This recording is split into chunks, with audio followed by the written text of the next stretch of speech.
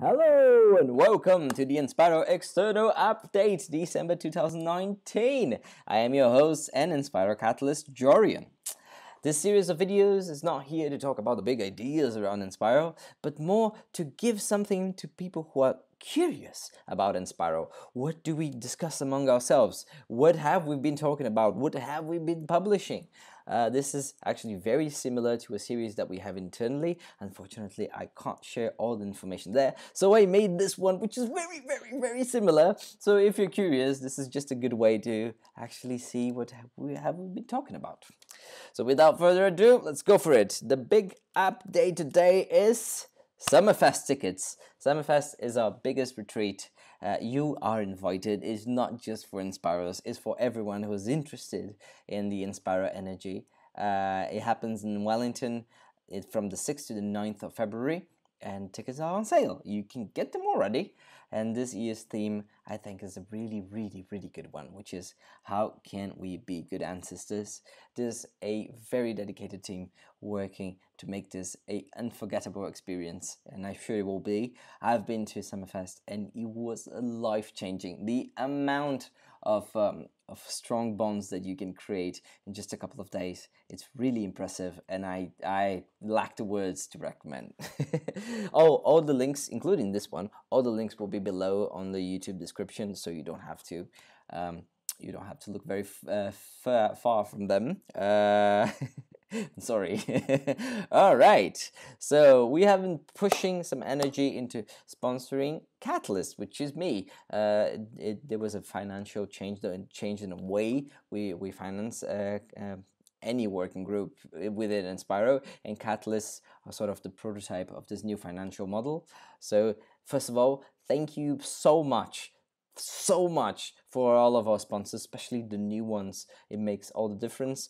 We are currently sponsored by these uh, kind people here, by those amazing companies, and by patrons, people outside of the Enspiral network who value our work and decided to donate a little bit of their monthly income to us.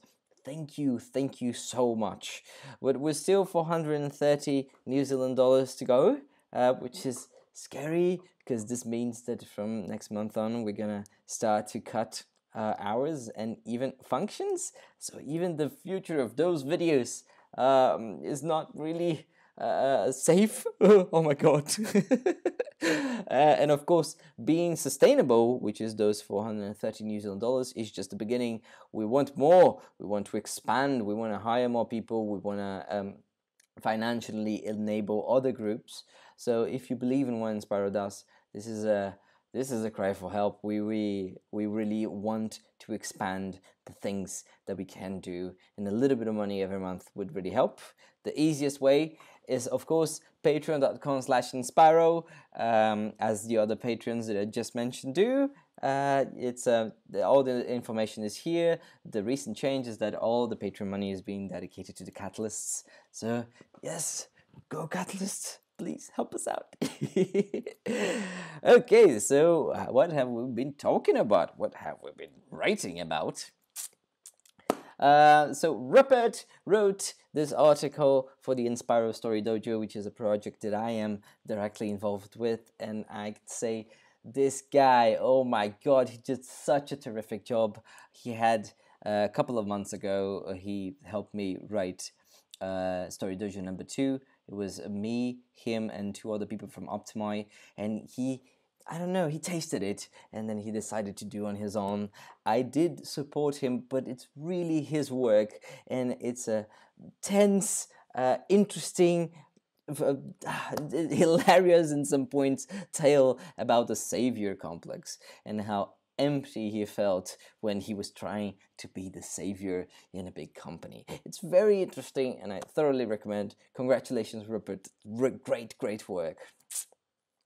So, Susan and Gina uh, were interviewed by the Engendered podcast It's actually two uh, episodes, part one, part two. Both have 40 minutes. So there's just so much good information there. Not only this podcast, it's quite cool, but uh, just the fact that those are two episodes and they had time to explore the ideas.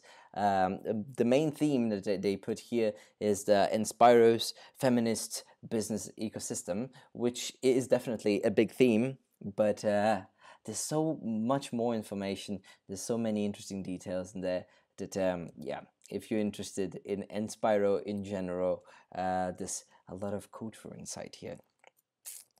Stephen uh, always shares his newsletters with us, which are incredibly well crafted. And uh, this time he's talking a lot about his experiences with Extinction Rebellion. I mean, look at those pictures, it's really great. And also his experiences uh, with uh, training his uh, shamanic sexual spiritual side, which is something that he recommends thoroughly. Super interested if you're into those things. Uh, so um, we had the the honor to have uh, Joshua Vial, um, the uh, Enspiral Firestarter, uh, uh, as one of the finalists for Wellingtonian of the Year this year, alongside uh, titans of New Zealand cultural, economical, um, educational world. He's actually in this educational uh, session, and yeah, it's just um, it's just an honor to be here. Alina, one of Enspiral contributors, uh, challenged herself to be more creative in the past 30 days, I think even slightly more than 30 days. Um, and she created a process in which she could flourish her uh, latent creativity. She wrote this Medium article about her reflections and about her motivations, and uh, which I recommend you read first. And if that is interesting to you, you can check her Instagram account where you can see the result of this experiment, which is very interesting because it's so varied. She found so many ways to communicate just in the space of 30 days, which was her whole point. So if you're also looking for your creative voice, might give you uh, a hint on how to find it. So Rich was interviewed uh, in, in, in this article here uh, that he calls Wacky, and he said that they even call him, what did he say, sorry, an uh, open source cult leader. Whatever that means, and uh, yeah, it's a uh, it's a very interesting article. Look at those gorgeous images, and uh, um, it's structured in a wacky way. He also wrote a tutorial on how to make spreadsheets powerful. So if you're interested in these people that can find all sorts of information out of an Excel or a Google spreadsheet, this this is the place for you. He writes in a very comprehensive way and he teaches all sorts of uh, uh, tips and tricks with the formulas. Bamboo Creative, one of Enspiral's ventures, has a new, beautiful, gorgeous website. Uh, so uh, we turned good ideas into engaging, meaningful, user-centered experiences. Uh, but look at that! It looks really, really gorgeous. It looks super modern. I am super excited because I've seen the old website. It was okay, but look at that! It's just, just brilliant. Um, so if you're interested into turning your engaging, meaningful ideas into experiences, give it a look. We were featured, Enspiral was featured in this virtual Communities for Impact Toolkit. Uh, which is organized by the Impact Hub. Uh, and it's just an honor for us to be here and to be uh, helpful. Uh, they feature our handbook, which is most of our open source information is there. And um, yeah, we're, we're, happy to be connected with the Impact Hub. We believe in their work. So cheers, folks. Uh, happy, happy to be here.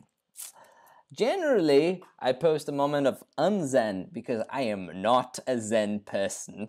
Uh, but today, specifically, I found something zen to share with you, and I'm very excited because it's something I don't know that I've been watching for the past for the past month, uh, which is this guy on YouTube who really, really loves his aquariums. And he has those super special aquariums and he makes those videos with beautiful imagery and uh, soothing music in which you can, well, with him observe his fishes and uh, in this case him this shrimp e eating some cucumber. It's soothing, really. In anxiety filled days, this is an oasis of calm and relaxation to me. So, if you're anything like me, I'm sure you're gonna love it. so, with those feasting shrimps, I will leave you for this video and this year. Happy holidays, everyone. I hope you have a wonderful new year. I hope it opens portals for you. Uh, and I will continue this series hopefully January next year. So, see you then.